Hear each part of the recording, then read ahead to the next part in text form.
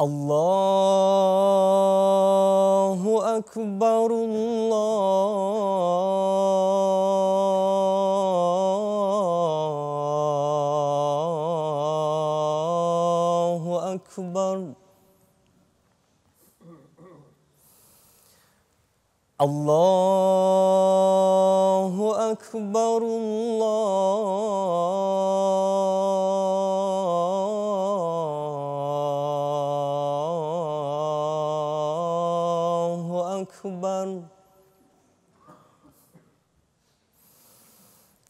أشهد أن لا إله إلا الله.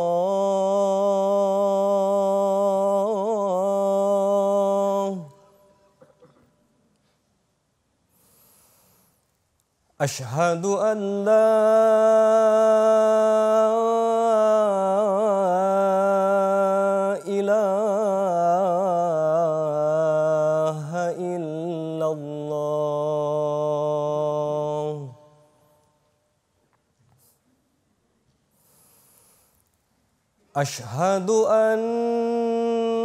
محمد رسول الله.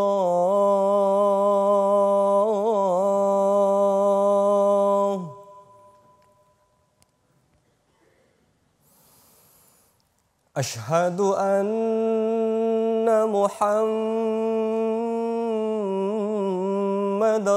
رسول الله.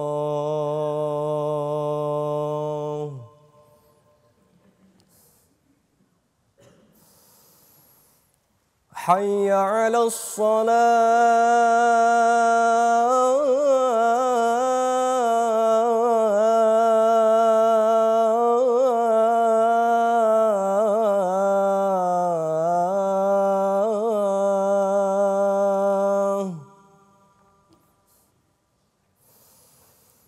حي على الصلاة.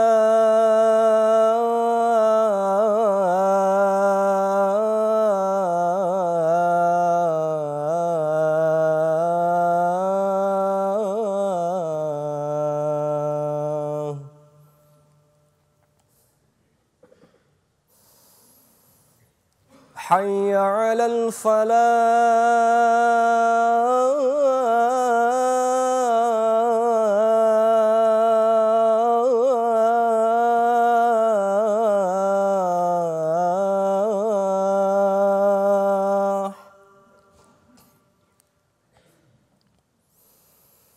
حي على الفلاح.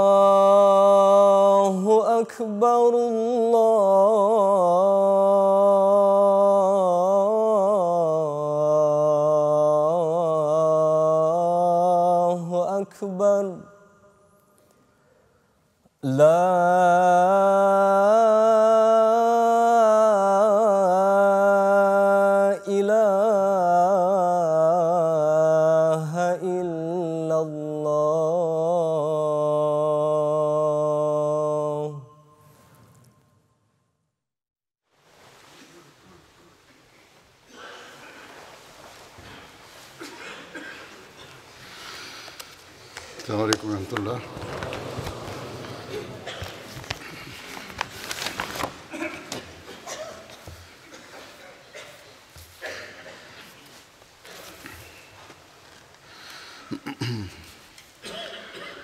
أشهد أن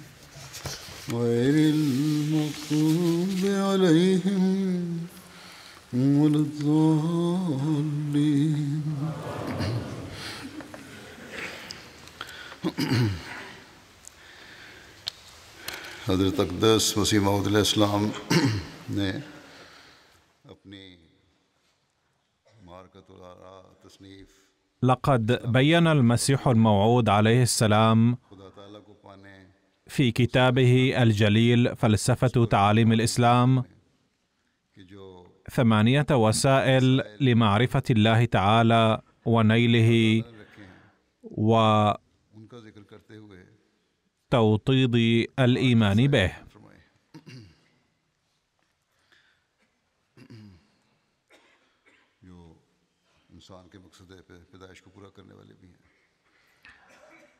وهذه الوسائل هي التي تحقق الغاية من خلق الإنسان.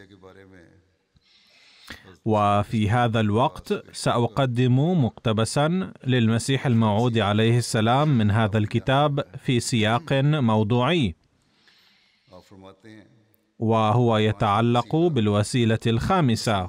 قال المسيح الموعود عليه السلام والوسيلة الخامسة التي وضعها الله للفوز بالمرام الأصلي هي المجاهدة.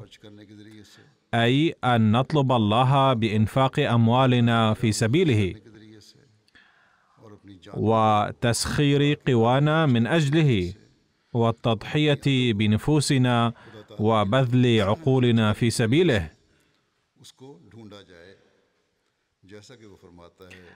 كما يقول عز وجل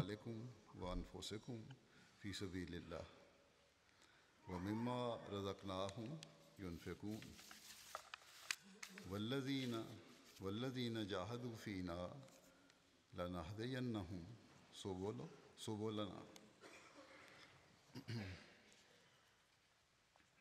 یعنی اپنے مالوں اور اپنی جانوں اور اپنے نفسوں کو تمام ابذلوا في سبيل الله أموالكم وأنفسكم عقل اور بجميع ما فيها من قوى وملكات. خدا وأنفقوا في سبيله كل ما أعطاكم من عقل وعلم وفهم ومهارة وغيرها. والذين يسعون بكل طريق في سبيلنا فإننا لا بد أن نريهم سبلنا.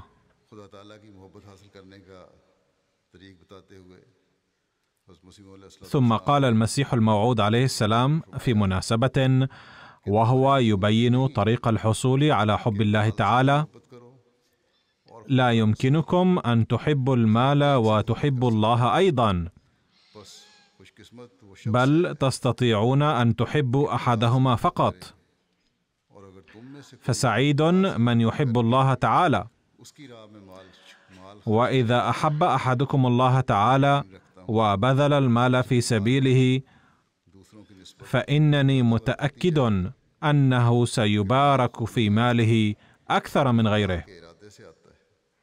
لأن المال لا يأتي تلقائيا بل يأتي بمشيئة الله تعالى.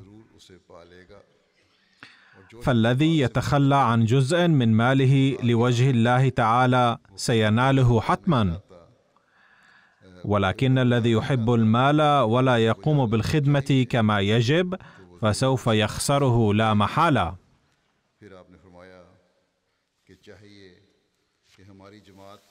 ثم قال عليه السلام يجب أن يتعهد كل متنفس في جماعتنا أنه سيتبرع بمبلغ معين من المال. فالذي يتعهد لله عز وجل فالله يبارك في رزقه.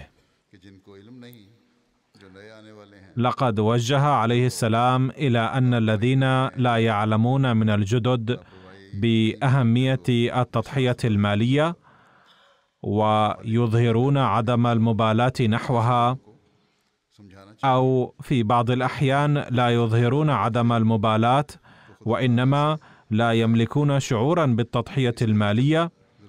فينبغي إفهام هؤلاء الناس أنهم إذا كانوا يريدون ارتباطا صادقا بالله تعالى فلا بد أن يتعهدوا أنهم سيدفعون بمبلغ معين حتما. وبفضل الله تعالى هناك مئات الآلاف من المخلصين الذين حين يوجهون إلى أهمية التبرعات يسعون للتقدم في التضحية المالية بغية نيل حب الله تعالى. ولذلك اوجه نظام الجماعة منذ عدة سنوات ماضية أن ضم المبايعين الجدد في النظام المالي أو في نظام التضحية المالية ضروري جدا. وإن كان ثمة شخص يقدر على دفع بنس واحد فقط فليدفع حسب قدرته. ولقد لوحظ في بعض الأماكن أن الأغنياء في بعض الأحيان يدفعون التبرع من قبل أقربائهم الفقراء. أو يعطون مبلغا قائلين هذا تبرع منا من قبل الفقراء. لا شك أن ذلك من الحسنات ولكن ينبغي على الفقير أن يتبرع بنفسه رغم فقره حسب سعته لأنه ليس هدفنا مجرد جمع المال بل الهدف هو التضحية في سبيل الدين لكسب حب الله تعالى. فحيثما يجمع نظام الجماعة التبرع بهذا الطريق ويطلب من الأغنياء أن يدفعوا باسم فلان فهو يخطئ. تبلغني في بعض الأحيان مثل هذه الأمور ولكن بشكل عام رأيت فيما أتلقى من تقارير التضحية المالية ذكرى تضحية الفقراء المالية أكثر لأنهم يملكون شعور التضحية المالية أكثر. وكثيرا ما أذكر تضحية الفقراء في خطبي أيضا. وأستغرب رؤية تضحية البعض. إذا كان أحد يملك كثيرا من المال والثروة ويدفع منه قليلا فهذا ليس شيئا عظيما. وأما إذا كان أحد يعاني من ضيق مالي وفقر ثم ضحى في سبيل الدين لنيل حب الله تعالى فهذه هي التضحية الحقيقية التي تكون وسيلة لإحراز قرب الله تعالى. نرى مثل هذه الأمثلة في زمن المسيح الموعود عليه السلام. فذات مرة كان المسيح الموعود عليه السلام بحاجة إلى المال لنشر بعض الكتب.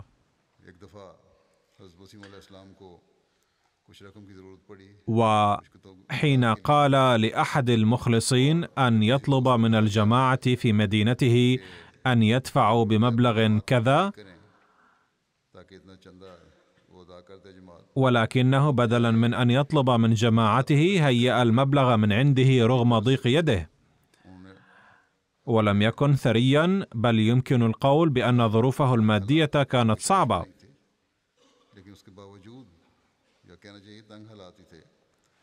ولكنه هيأ المبلغ من عنده وأظهر كأن الجماعة في مدينته دفعت هذا المبلغ.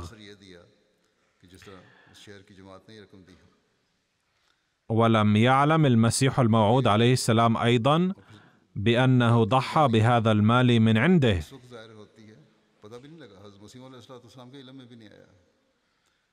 وظهر ذلك حين شكر المسيح الموعود عليه السلام شخصا آخر من الجماعة نفسها قائلا إن جماعتكم قد أعانتني عند عين الحاجة. وحين علم أفراد تلك الجماعة أن شخصا واحدا منهم فقط قد قدم هذه التضحية عاتبوه قائلين لماذا حرمتنا من هذه الخدمة؟ هذا المضحي كان المنشي ظفر أحمد رضي الله عنه الذي باع حلي زوجته وهيأ المبلغ. ولا شك أن زوجته أيضا شريكة في هذه التضحية. وكان المنشي أرورة رضي الله عنه صديقا للمنشي ظفر أحمد رضي الله عنه وكان من الجماعة نفسها. وهو علم من المسيح الموعود عليه السلام بهذه التضحية فظل غاضبا على المنشي ظفر أحمد رضي الله عنه عدة أشهر على أنه لماذا لم يخبرهم؟ ولماذا هيأ هذا المبلغ وحده؟ فأعطى الله تعالى المسيح الموعود عليه السلام مثل هؤلاء المخلصين الذين كانوا مستعدين لكل نوع من التضحية لنيل حب الله تعالى. وهذا هو النموذج الذي قدمه صحابة الرسول صلى الله عليه وسلم وأحياه اليوم أتباع المسيح الموعود عليه السلام. وهذا لا يقتصر على عهد المسيح الموعود عليه السلام فقط بل هو مستمر إلى اليوم. نرى كيف يقدم الناس تضحيات مالية في صناديق مختلفة ويضحون ولو كانت بهم خصاصة. ولكن الله تعالى الذي لا يبقى مدينا لأحد يعيد إليهم ما. لهم بطريقه ما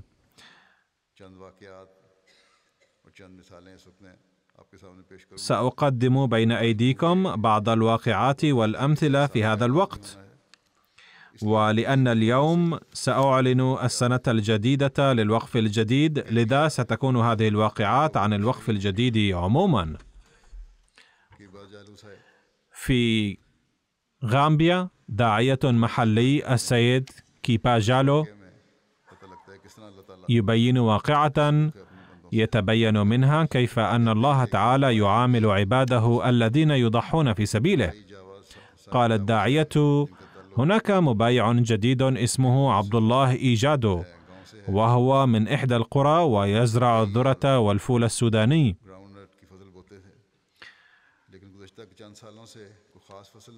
ولكن منذ بضع سنوات ماضية لم يجني محصولا جيدا. وفي هذه السنة باع الفول السوداني ودفع التبرع 700 ديلاسي في صندوق الوقف الجديد داعيا الله تعالى ليبارك في زراعته وعمله. قال بسبب هذه التضحية المالية بارك الله تعالى في حقله لدرجة أتى بربح ثلاثة أضعاف من السنة الماضية. فدفع بعد الحصاد ألف دلاسي مزيدا في صندوق الوقف الجديد. ثم هناك قرية في شمال غامبيا وفيها أحمدي اسمه السيد عثمان. قال الداعية وعد السيد عثمان أنه سيدفع سطلا من الذرة في صندوق الوقف الجديد. والآن إذا كانت لدى شخص ثري سعة مالية ويدفع ألف دولار أو ألف جنيه استرليني أو حتى خمسة جنيهات فهي ليست تضحية كبيرة لأنه يملك ملايين الجنيهات. ولكن الذين يحفظون غلة للأكل والزراعة دفعهم سطلا ذرة تضحية كبيرة. ولا قيمة له عند سكان المدن في أوروبا. وقد تجدونه بخمسة جنيهات أو ستة. قال كان المحصول قليلا جدا في السنة الماضية. وكان 12 كيسا فقط. وكانت نفقات البيت تسدد بصعوبة بالغة. ومع ذلك حقق وعده وبالنتيجة كان المحصول في هذه السنة 30 كيسا و15 كيسا من حقل آخر. فالمال القليل الذي يدفع بإخلاص يتقبله الله تعالى. ويعيده اضعافا وهذا هو المال الذي يتسبب في الوصول إلى الله تعالى ولتقوية الإيمان به تعالى.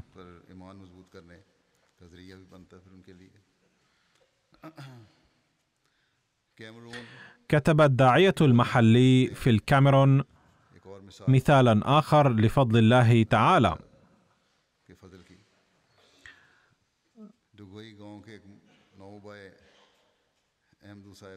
هناك مبايع جديد السيد أحمد في قرية ديكوئي. حين أخبرناهم بتبرع الوقف الجديد دفع سطلين من الذرة.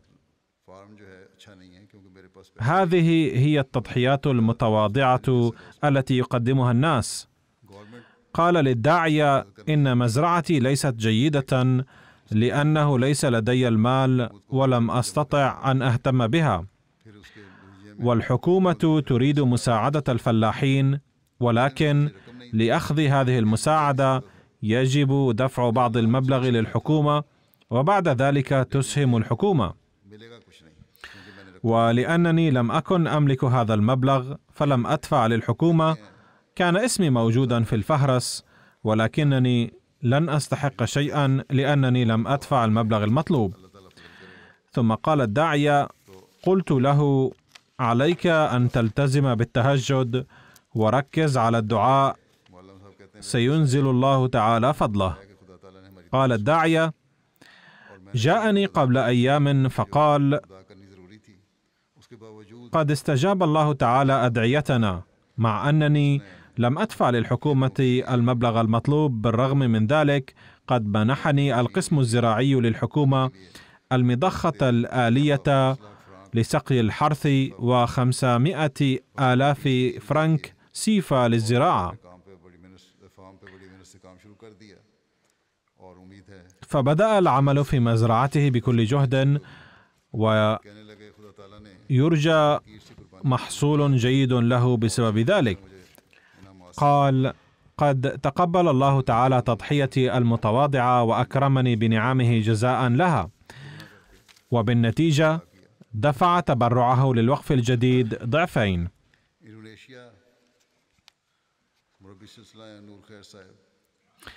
وفي إندونيسيا داعيتنا السيد نو خير قال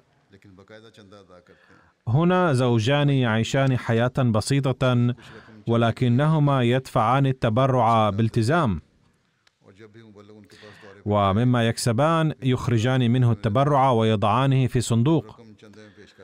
ولأنهما يعيشان في جزيرة نائية فكلما يذهب إليهما الداعية للزيارة يقدمان المبلغ المجموع في التبرع. ذات مرة لم يستطع أحد من دعاتنا زيارة فرع الجماعة هذا لأكثر من سنة، ومع ذلك ظلا يدخران تبرعاتهما ولما ذهب داعيتنا لزيارتهما بعد عام دفعا له كل ما ادخراه في الصندوق من تبرعاتهما وكان مبلغا لا بأس به. ثم قالا للداعية هذه المرة قد ربحنا ربحا جيدا وأيقنا ببركة التبرع وازددنا ايمانا على إيماننا وشاهدنا هذه البركات بأم أعيننا. وقالا ذات مرة خدعنا شخص فتساءلنا ما هو سبب وقوعنا في خداع هذا الشخص. فأدركنا أننا لم ندفع التبرعات على ما يرام في تلك المرة. ولذلك خسرنا هذا المال نتيجة الانخداع. ومنذ ذلك الوقت بدأنا ندخر في الصندوق ما علينا من تبرعات بعمل حساب دقيق لدخلنا. ولا نطمئن ولا نرضى ما لم نفصل مبلغ التبرع عن باقي المال. فهكذا يجعل الله تعالى خسارة بعض الأحمديين سببا لإصلاحهم فيزدادون ايمانا مع ہے وكتب أحد دعاتنا في إندونيسيا السيد بشير الدين هناك أخ تبرع بخمسمائة ألف روبية إندونيسية في صندوق الوقف الجديد علما أن قيمة الروبية الإندونيسية ضئيلة جدا ولكن هذا المبلغ كان لا بأس به نظرا إلى ظروف هذا الأخ الأحمدي. وبعد أيام باع له البعض قطعة أرض بخمسة عشر مليون روبية. ثم بعد بضعة أسابيع اشترى منه شخص آخر هذه الأرض بخمسين مليون کی فقال هذا الأخ إنه على يقين بأن هذا الربح 35 مليون روبية الذي ربحه خلال بضعة أسابيع إنما هو بفضل بركة التبرع في صندوق الوقف الجديد. إن الشخص المادي سيرجع هذا الربح إلى ذكائه التجاري. قائلا انظروا كيف مارست التجارة بدهاء حيث أنفقت 15 مليون وكسبت منها 50 مليون. ولكن الذين يريدون الفوز بحب الله تعالى والذين يقدمون التضحيات في سبيله يقولون لقد حدث هذا لأني تبرعت وضحيت في سبيل الله. فرد الله لي ما وہاں لکھتے ہیں هناك واقعة أخرى من إندونيسيا وقد زادت إيمان صاحبها. كتب داعيتنا هناك السيد معصوم. هاجر أحد الأحمديين إلى جزيرة اسمها سولابيسي بحثا عن العمل وعانى في البداية عناء شديدا حتى لم يجد مكانا للمبيت. فاضطر للمبيت في مركز الجماعة. ثم إنه بدأ يشتري السمك ويبيعها للناس. كان عملا بسيطا جدا إذ كان يبذل مجهودا كبيرا وكان الدخل ضئيلا جدا. ومع ذلك لم يتخلف عن تقديم التضحية المالية. ثم بعد فترة قليلة تحسنت ظروفه التجارية حتى إنه يتبرع الآن أكثر من تبرع أي أحمدي آخر في منطقتنا وهو منخرط في نظام الوصية أيضا. ويقول إن كل ذلك هو نتيجة التضحية المالية التي قدمتها. كتب السيد عبد الرحمن من غامبيا كنت أعاني كثيرا في دفع رسوم مدرسة أولادي. فأخبرت الداعية المركزي بأني أعاني ضيقا شديدا. فقال لي الداعية تعال قدم التضحية المالية في سبيل الله تعالى وسوف ينزل الله تعالى فضله عليك چندہ فتبرعت بمئتين من الدلاسي في صندوق الوقف الجديد. ثم بعد ذلك بأسبوع فقط وجدت عملا بأجرة خمسة آلاف دلاسي شهريا. فتمكنت بكل سهولة من دفع رسوم مدرسة أولادي. كما أنفق بسهولة على الحاجات اليومية الضرورية. يقول داعيتنا إن هذا الأخ يذكر فضل الله هذا في كل مجلس وناد قائلا إن الله تعالى قد أنزل علي فضله ببركة الإنفاق في سبيله. وقد زادني ايمانا على إيماني كما بارك في رزقي بركة عظيمة. غریب کس طرح أضرب لكم الآن مثالا آخر يبين كيف يضحي الفقير متوكلا على الله تعالى. ثم كيف يعامله الله تعالى وفقا لحسن ظنه به ولتوكله عليه. كتب داعيتنا من غينيا بيساو. نبهنا ان مونيترو كامارا إلى ضرورة تسديد وعده في صندوق الوقف الجديد. فقال يوجد عندي الآن أربعة آلاف فرنك سيفا التي احتفظت بها لطعام اليوم. ومع ذلك کے علما أن هذه العملة ضئيلة القيمة جدا ثم إن العائلات هنالك كبيرة العدد. وبعد قليل تبرع بهذا المبلغ کھانا وذهب ليقترض من البعض مبلغا يشتري به الطعام. وفي اليوم التالي أتت بنته من المدينة وجلبت معها كيسين من الأرز وعلبة زيت وأشياء أخرى بالإضافة إلى مبلغ بسيط. فأيقن أخونا هذا أن المبلغ الذي ادخره للطعام والذي تبرع به في سبيل الله تعالى قد بارك الله فيه حتى وجد في اليوم التالي كل هذه الأشياء للأكل والشرب.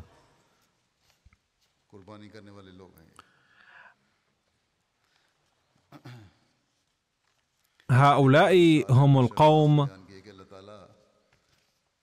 الذين يقدمون التضحيات المالية وهم جائعون. ثم هناك مثال آخر.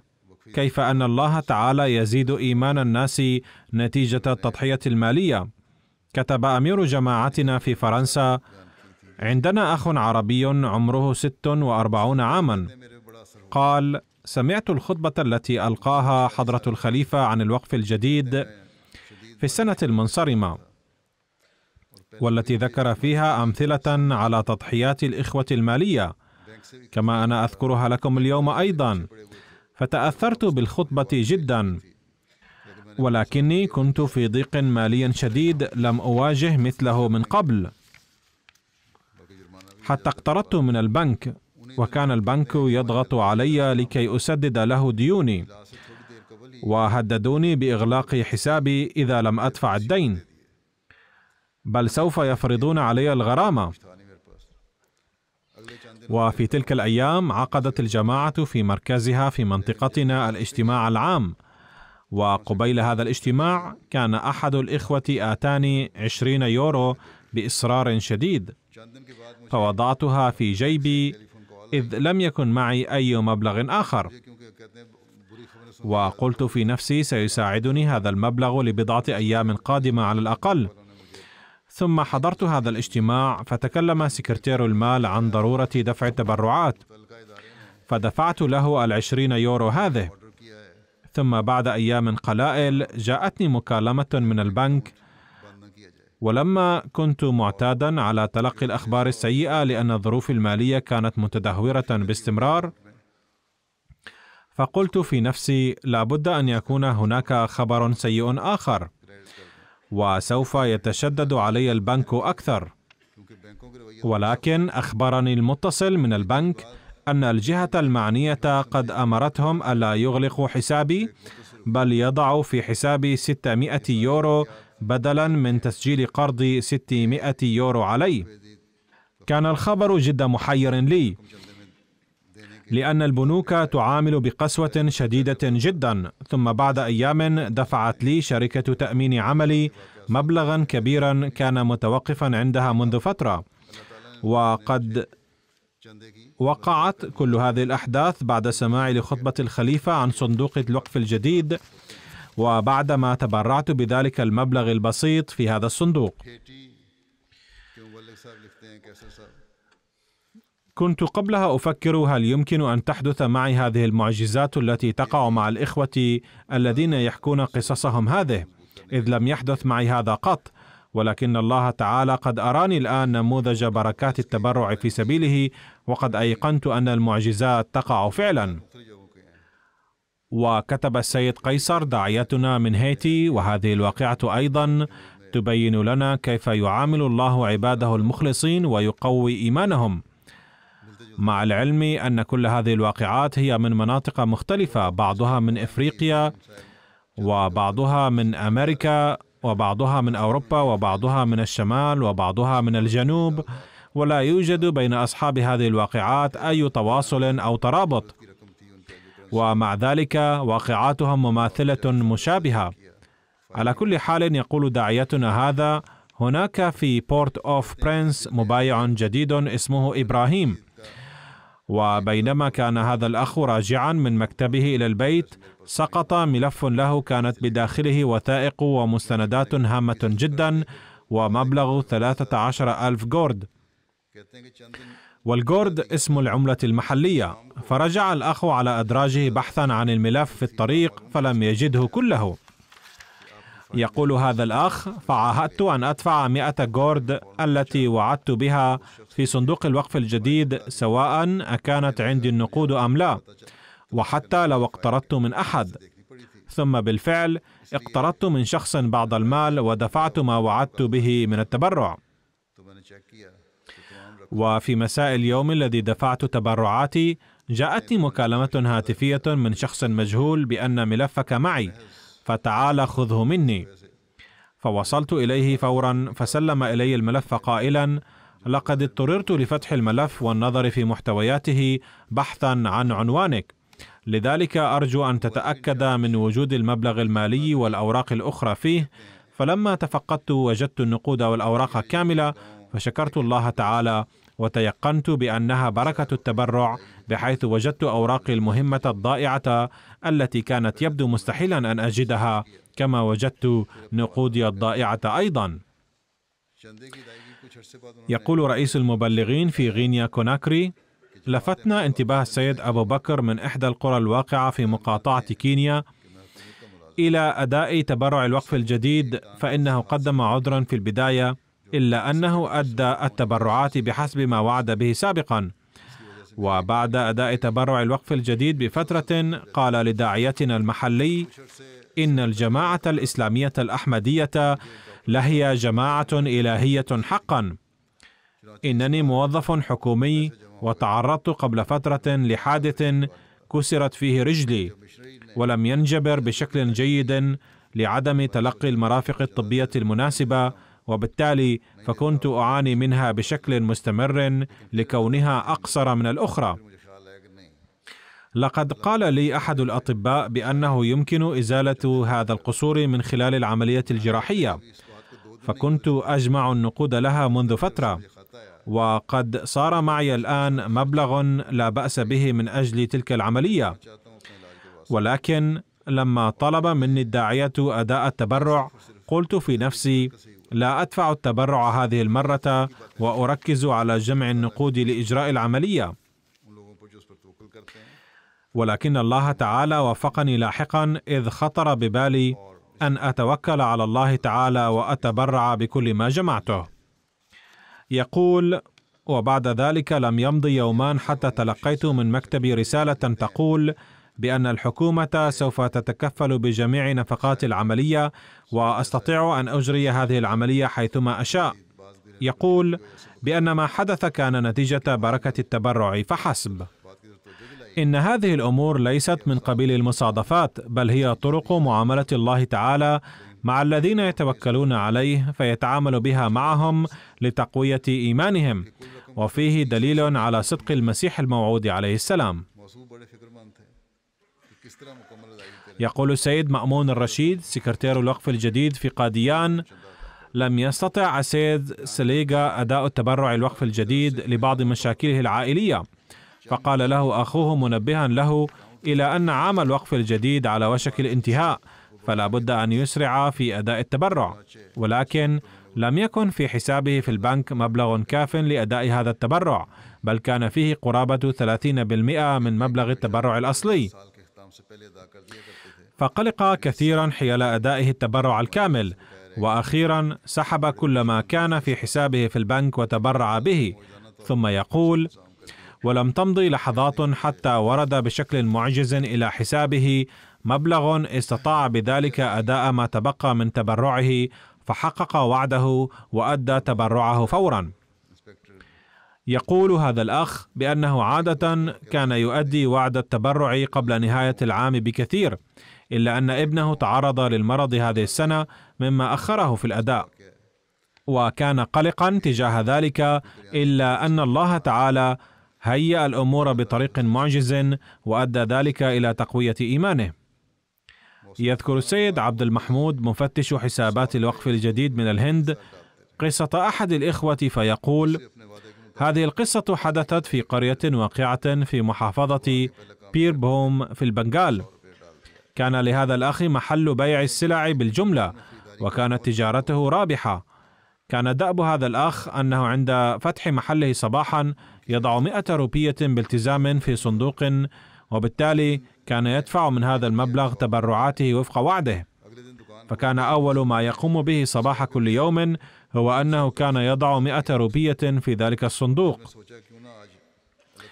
يقول في أحد الأيام كان عدد الزبائن قليلا لدرجة لم يغطي الربح النفقات اليومية ففي اليوم التالي لم يضع في الصندوق مئة روبية بل وضع ثلاثمائة روبية عند فتحه المحل. وقال في نفسه لماذا لا أقوم اليوم بالتجارة مع الله تعالى؟ ففي اليوم نفسه جاءه ثمانية زبائن بعد الظهر. وبما أن محله كان لبيع السلع بالجملة وكانت تجارته واسعة فلعله بقي مشغولا في تسليم شوالات البضاعة إلى الزبائن حتى الليل لدرجة اعتذر لأحد الزبائن وقال له أن يأتي في اليوم التالي لتسلم البضاعة. فلقد تلقى أرباحا كافية في ذلك اليوم بفضل من الله تعالى. يقول هذا الأخ عندما يرضى الله تعالى على إنسان يعطيه رزقا وفيرا لا يسعه الاحتواء به ولو باليدين. يقول السيد عبد العزيز داعية مقاطعة أويو في غينيا بيساو لما قيل لامرأة عجوز السيدة مسكوتا لأداء تبرع الوقف الجديد قالت كنت قد جمعت مبلغ التبرع بحسب الوعد إلا أنني فقدته عند ذهابي إلى بيت أخي ليلة الأمس ولعله وقع مني في الطريق وإنني أبحث عنه وسأتبرع به فور ما أجده. فظلت تبحث عن النقود الضائعة دون أن تجدها فاقترضت من ابنتها مبلغا من المال أدت به شيئا من تبرع الوقف الجديد. وبعد ذلك حاولت البحث عن ظرف النقود المفقود. تقول هذه السيدة لم أخطو بضعة أمتار إلا ووجدت نقودي في ظرف بلاستيكي وسط الشارع. فسرت كثيرا وجاءت في اليوم التالي وأكملت أداء التبرع بحسب الوعد ثم ظلت تخبر الناس بأن الله تعالى أرجع لها نقودها الضائعة ببركة تبرع الوقف الجديد. يقول السيد أحمد بلال الداعية في مقاطعة سكاسو في مالي جاء إلى مركز الجماعة السيد أحمد جيلا وقال بأنه كان مواظبا على أداء التبرعات سابقا ولكنه لاحقا بسبب المشاكل المالية لم يستطع أداء التبرعات. وفي أحد الأيام رأى في الرؤيا أنه يمشي مع جمع من الناس على طريق واسع كبير وأن هذا الطريق ينقسم لاحقا إلى عدة طرق صغيرة. وأن تلك الطرق كلها فاسدة وصعبة وغير معبدة. فدعا الله تعالى فنزل من السماء مركب فأخذه وصعد به إلى السماء. ثم عندما انتهى ذلك الطريق الخرب أنزله المركب مرة أخرى على الطريق الواسع. وهذه المرة رأى فيه شخصا صالحا قال له هذا المركب نزل لك بسبب أدائك التبرعات. يقول هذا الأخ بأن الإنسان يتعرض للمشاكل أحيانا ولكن الأحمدي الذي يواظب على الإنفاق في سبيل الله يجد الله تعالى يسهل عليه جميع مشاكله. فأدى هذا المبايع الجديد التبرعات وقال بأنه لن يتكاسل في أدائها في المستقبل مهما كانت الظروف. هل كل هذه الأمور من قبيل المصادفات؟ يقول أمير الجماعة في تنزانيا. عندما تم حث أفراد الجماعة في أحد الفروع في مقاطعة أورشا تبرعت إحدى السيدات الفقيرة السيدة فاطمة التي كانت تعيش على بيع الموز وبعض الفواكه الأخرى بمدخول يومين كاملين كتبرع الوقف الجديد. كما أشركت في تبرع الوقف الجديد عائلتها أيضا. كذلك عندما نبهت سيدة عجوز أخرى من الجماعة جاءت إلى مركز الجماعة في الساعة الثامنة صباحا وأدت خمسة آلاف شيلينغ في صندوق الوقف الجديد. إنهم أولئك الذين قال عنهم المسيح الموعود عليه السلام بأنه يتعجب المرء عندما يرى مثل هؤلاء الناس وعندما يعرف كيف يقومون بالتضحيات عندما يتم حثهم عليها. فإنهم يقومون بالتضحية كما قال المسيح الموعود عليه السلام كلما تم حثهم عليها. وكتب أمير الجماعة في تنزانيا قصة أخرى فقال إن الأوضاع الاقتصادية للبلد صعبة في السنوات الأخيرة إلا أن الأحمديين بفضل الله تعالى يساهمون في التبرع المالي بكل إخلاص. هناك أحمدي في مدينة أروشا يدعى السيد وزيري وهو يكسب لقمة العيش ببيع الجرائد. فلما تم لفت انتباهه إلى أداء تبرع الوقف الجديد فقد أدى حسب استطاعته إلا أنه قال أيضا بأنه من الآن فصاعدا يقلل من شرب كوب من الشاي يوميا ويوفر هذا المبلغ من أجل التبرع. هكذا يوفر الفقراء بعض المبالغ للتبرع بها بعقدهم العزم على عدم شرب كوب من الشاي وذلك لأن الذي يدفعهم نحو ذلك هو شعورهم بكيفية نيل قرب الله تعالى. يتابع أمير الجماعة في تنزانيا ويقول إن شابا مخلصا من جماعة منطقة مارا كان يدفع تبرعه في صندوق الوقف الجديد قبل نهاية عامه المالي عادة ولكن هذا العام بقي عليه خمسة عشر ألف شلن بسبب ضائقة مالية. كان عنده مبلغ بسيط علما أن قدر الشلن متدهور جدا فخطر بباله أنه لو دفع هذا المبلغ البسيط أيضا في التبرع في نهاية الشهر لن يبقى لديه شيء للنفقات الخاصة. ولكنه مع ذلك تبرع به متوكلا على الله. وفي اليوم التالي تلقى اتصالا هاتفيا من مكتب يعمل فيه وقيل له أن الفواتير العالقة منذ ثلاثة أشهر قد سددت. وفي العام الجديد رفع راتبه بقدر لا بأس به. وهو يؤمن أنه تلقى مبلغا ستة أضعاف خلال بضعة أيام ببركة التبرع. كان من قبل يفتقر حتى إلى نفقات المنزل ثم هيأ الله تعالى له مبلغا ستة أضعاف. يقول داعيتنا في منطقة كايا في بوركينا فاسو أن اخا احمديا اسمه عبدو أخبره أنه كان يساهم في التبرعات ولكن دون انتظام. ثم عقد العزم في العام الماضي أنه سيسعى جاهدا للاشتراك في جميع صناديق التبرعات بشكل نظامي. يقول هذا الأخ منذ أن قررت دفع التبرعات بانتظام وبدأت بدفعها فعلا بارك الله تعالى في جميع أموري في أموالي ودوابي ومزرعتي وفي كل شيء.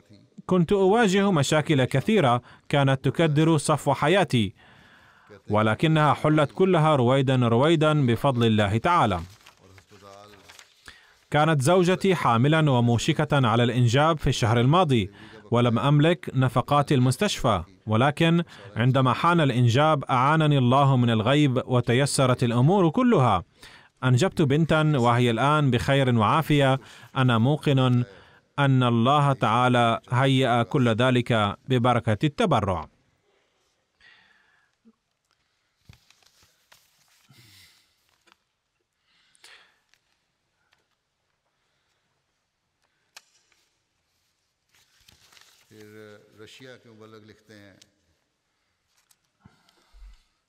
يقول داعيتنا في روسيا أن الأخ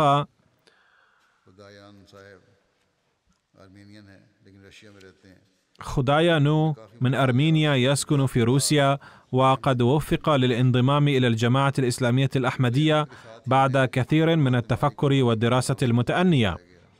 وبعد انضمامه إلى الجماعة وضحنا له نظام الجماعة المالي فبدأ يدفع التبرع في صندوق التحريك الجديد والوقف الجديد بانتظام.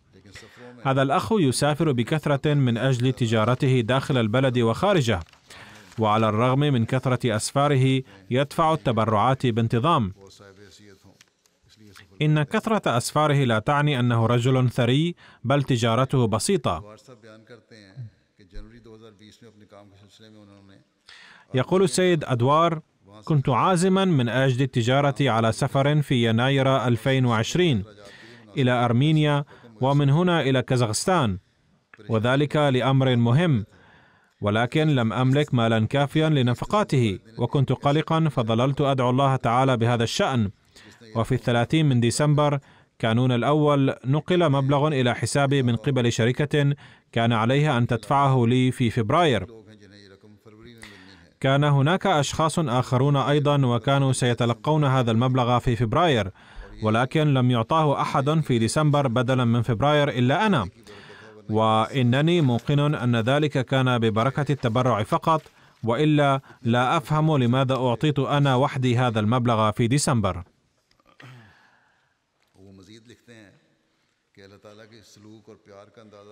ثم يقول هذا الأخ المسلمون الأحمديون فقط يستطيعون أن يعرفوا معاملة الله المبنية على الحب تجاههم. أقول هكذا يقوي الله تعالى إيمان الناس. يقول السيد وقار داعية الجماعة في منطقة بيدرو في ساحل العاج في قرية فتاكرو في هذه المنطقة أسس فرع صغير للجماعة في عام 2014 يتكون من 20 شخصا. كان في هذه الجماعة أخ من أصل بوركينا فاسو. وكان أنشط عضو في الجماعة المحلية. ولكنه عاد إلى بلده بوركينا فاسو قبل عام.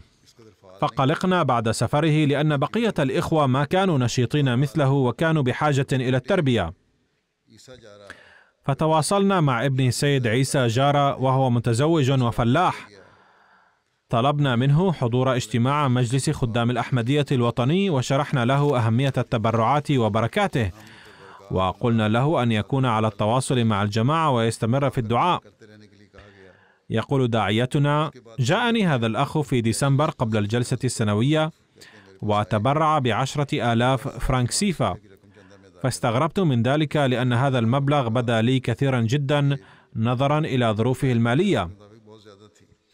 فقلت له كيف استطعت دفع هذا المبلغ؟ فقال منذ أن بدأت بدفع التبرعات بدأت أفضال الله تعالى تنزل علي بكثرة وأربح من مزرعتي أكثر من غيري. ورأيت في الرؤيا قبل فترة أن شخصا ذا وجه نوراني يدعو الناس إلى طريق الخير وهو المسيح الموعود عليه السلام الذي كان يدعو الناس إلى الهداية. أشكر الله تعالى أنه وفقني للانضمام إلى الجماعة الإسلامية الأحمدية ومن الآن سأدفع التبرعات بانتظام. هناك محصل التبرعات في صندوق الوقف الجديد في الهند.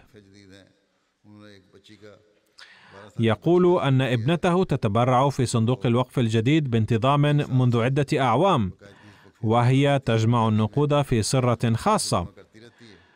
هي لا تتكلم ولا تسمع ولكن عندما ترى الآخرين يدفعون التبرعات تتشجع هي أيضا على دفعها. يقول داعيتنا في ليبيريا أن هناك فرعا للجماعة في إقليم كيب ماونت.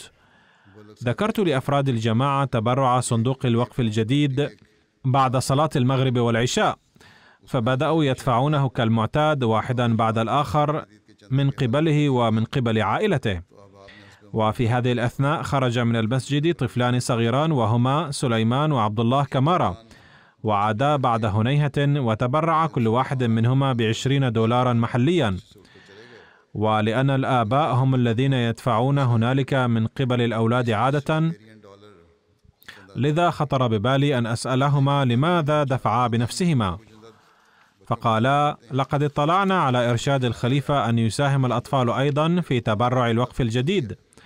فقررنا أن نجمع النقود وندفع التبرع بأنفسنا بحسب أمر الخليفة. أقول هؤلاء الأطفال الصغار الساكنون في بلاد نائيه لم يروا الخليفة ولكن الله وحده يخلق في قلوبهم هذا الإخلاص والحب. ندعو الله تعالى أن يزيدهم اخلاصا ووفاء فسواء كانوا صغارا أو كبارا المبايعون الجدد أو القدامى كلهم يدركون أن الوسيلة لنيل حب الله تعالى هو الإنفاق في سبيله.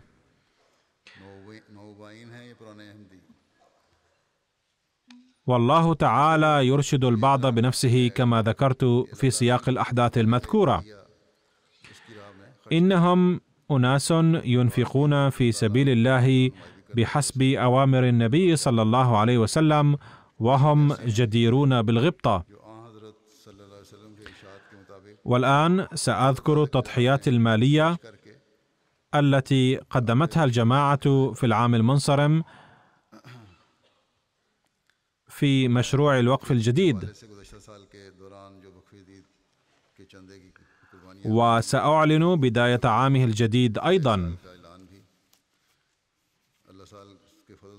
لقد بدأت السنة الثانية والستون لمشروع الوقف الجديد من 31 ديسمبر 2019 وبدأ العام الجديد من أول يناير كانون الثاني عام 2020 وفي العام المنصرم وفق الله تعالى الجماعة الإسلامية الأحمدية العالمية بدفع تسعة ملايين وستمائة وثلاث وأربعين ألف جنيه استرليني كتضحية مالية.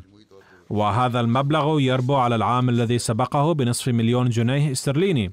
ففي هذا العام احتلت جماعة بريطانيا المرتبة الأولى من حيث الدفع الإجمالي وترتيب فروع الجماعة من هذا المنطلق هو كما يلي بريطانيا ثم باكستان ثم ألمانيا ثم أمريكا ثم كندا ثم الهند ثم أستراليا ثم إندونيسيا ثم هناك جماعتان من الشرق الأوسط.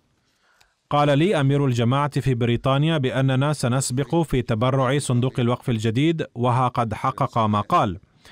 ترتيب عشرة فروع للجماعة التي أضافت تبرعها بشكل ملحوظ من حيث العملة المحلية مقارنة مع العام الذي سبقه وكما يلي. تحتل جماعة إندونيسيا رأس القائمة تليها ألمانيا ثم أمريكا ثم هناك فرعان آخران من الجماعة. على أي حال هذه هي فروع الجماعة الكبرى بحسب الترتيب المذكور.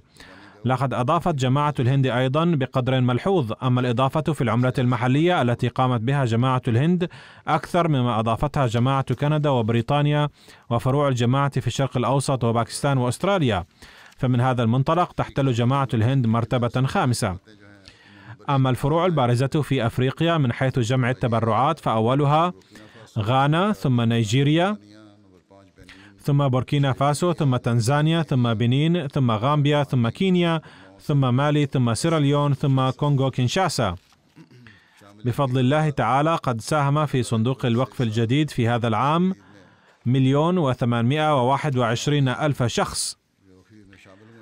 وهكذا كانت زيادة عدد المتبرعين في هذا العام مقارنة بالعام المنصرم هي تسعة وثمانين ألف شخص. والفروع البارزة في بذل الجهد لزيادة عدد المتبرعين هذا العام هي الكاميرون والسنغال والنيجر وسيراليون ونيجيريا وبوركينا فاسو وإندونيسيا والفروع الأخرى.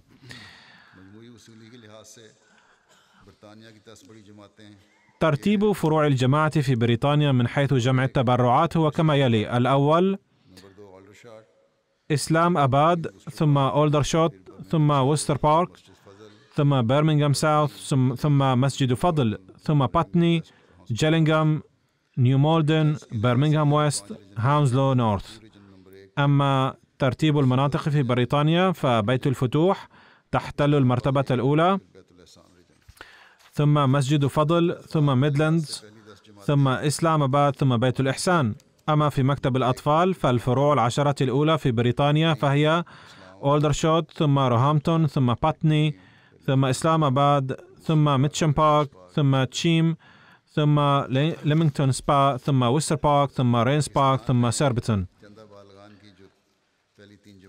الفروع الثلاثة الأولى في باكستان من حيث تبرعات الكبار فهي لاهور وربوة وكراتشي.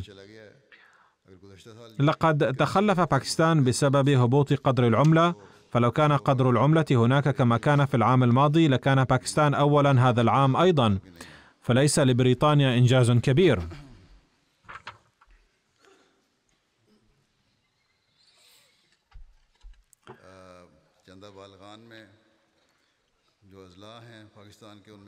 ترتيب المحافظات في باكستان من حيث تبرعات الكبار كالآتي. إسلام آباد، سيالكوت، راولبندي، جوجرانوالا، ملتان، عمركوت، حيدر آباد، ديرا غازي خان، ميربور خاص وبيشاور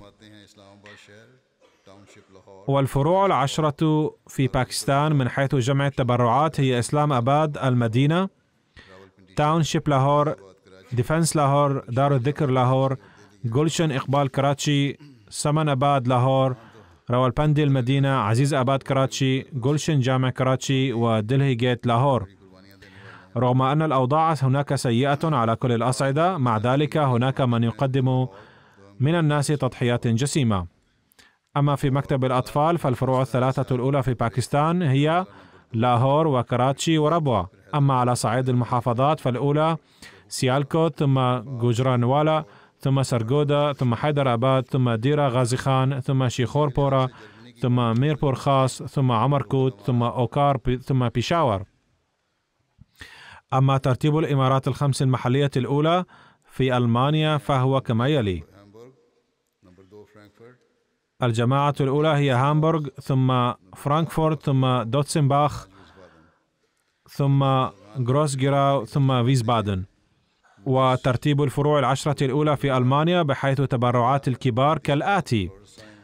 نويس رودر مارك نيدا مهدي أباد فلورسهايم فريدبرغ بنزهايم لانجن كوبلينز هاناو وبنبرغ ترتيب المناطق الخمسة الأولى في مكتب الأطفال هو هيسن سود ويست هيسن ساوث إيست هيسن ويتيست تاونز هيسن ساوث وراينلاند فالز.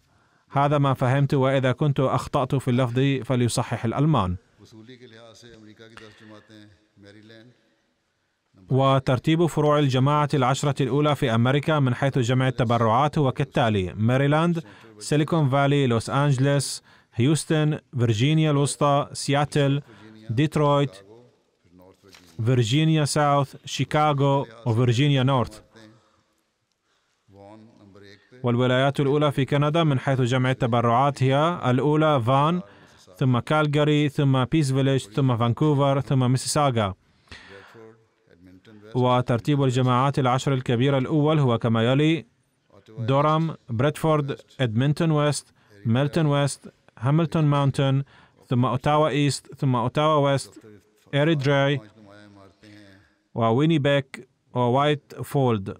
والإمارات الخمس الأولى في كندا من حيث مكتب الأطفال هي فان ووغن فان كالجاري بيس فيليج برومبتون ويست والفروع الخمسة البارزة في مكتب الأطفال هي دورام برادفورد ميلتون ويست واير دراي هاملتون ماونتن. ترتيب الولايات في الهند من حيث جمع التبرعات الإجمالي هو محافظة كيرالا جامو وكشمير ورغم أن الأوضاع هناك سيئة احتلت المركز الثاني ثم كيرناتكا ثم تامل نادو ثم تلنغانا ثم أوريسا ثم بنجاب ثم ويست بنغال ثم دلهي ثم أوتر بريدش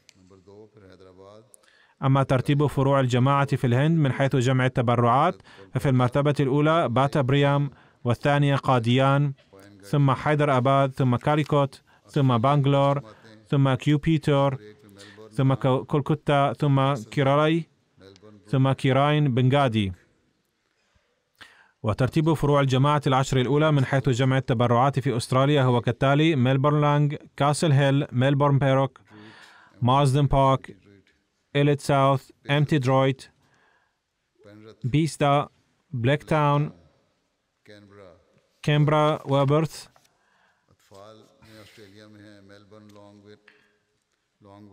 وترتيب فروع الجماعة في مكتب الأطفال هو ملبورن لانغ وان إدليد ساوث ملبورن بيرويك أمتي درويت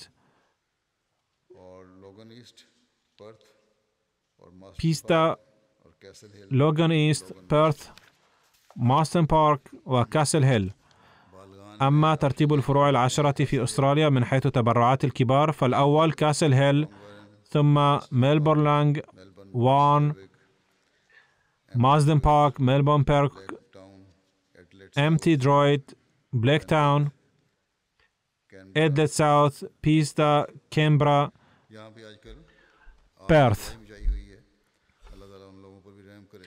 هناك أيضا أحدثت النيران أضرارا بالغة رحمهم الله.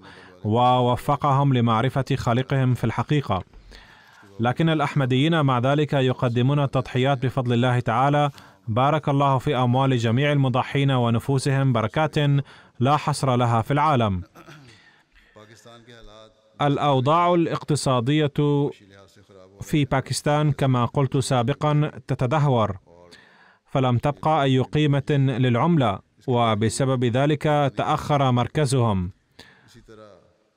لكن الأحمديين مع ذلك لا يقصرون في التضحيات وكذلك الأوضاع السياسية حرجة وهي تؤثر في الاقتصاد. ثم في ذلك الإقليم يتصاعد التوتر بين باكستان والهند وفي داخل الهند أيضا أوضاع سيئة بحسب الأخبار. الوضع العام في العالم يفيد أنهم يدعون هلاكهم. في الشرق الأوسط أيضا تتدهور الأوضاع ويتصاعد خطر اندلاع الحرب بين إيران وأمريكا وإسرائيل. والوحدة بين الدول الإسلامية مفقودة لذا يجب أن ندعو كثيرا لنجاة العالم من الدمار والمجيء إلى الله تعالى. أنزل الله تعالى عليهم فضله وألهمهم العقل والفهم. لقد بدأ العام الجديد ونحن نتبادل التهاني لكن الظلمات تشتد. فليكون هذا العام مباركا يجب أن ندعو الله تعالى أن يجعله مباركا بحيث لا تسوق الحكومات المادية العالم إلى الهلاك لتثبت تفوقها بل تسعى لإرساء دعائم السلام والعدل. ولا تعقد العزم على القضاء على البشرية لنيل المصالح الشخصية تمسكا بأنانيتهم. وهب الله لهم العقل. أما البلاد الإسلامية فيجب أن ندعو الله تعالى أن يوفقهم للتمسك بالمسيح الموعود والمهدي المعهود الخادم البار للنبي صلى الله عليه وسلم. ليساعدوه على رفع لواء النبي صلى الله عليه وسلم ونشر التوحيد في العالم لا أن يعارضوه فقد بلغوا منتهى المعارضة. كما نسأل الله تعالى أن يوفقنا نحن أيضا لأن نؤدي حق الإيمان بإمام الزمان عليه السلام أكثر من ذي قبل. وبذلك نرفع لواء التوحيد في العالم ونأتي به تحت لواء النبي صلى الله عليه وسلم ونوظف في سبيل ذلك جميع كفاءاتنا ووسائلنا. أما إذا كنا لا نفكر هكذا ولا ندعو بهذا التفكير ولا نستقبل العام الجديد مع أدعيتنا فإن تهانينا بالعام الجديد سطحية وغير مجدية. يجب أن يدرك كل أحمدي صغيرا كان أو كبيرا وذكرا كان أو أنثى المسؤولية التي تلقيها علينا التهنئة الحقيقية بالعام الجديد. وفي سبيل ذلك يجب أن يبذل قصارى جهوده وكفاءاته كما يجب أن نسعى لخلق حالة خاصة في دعائنا وعلاقتنا بالله تعالى. عندها فقط يمكن أن ننال البركات الحقيقية لهذا العام. وفقنا الله تعالى لذلك. آمين.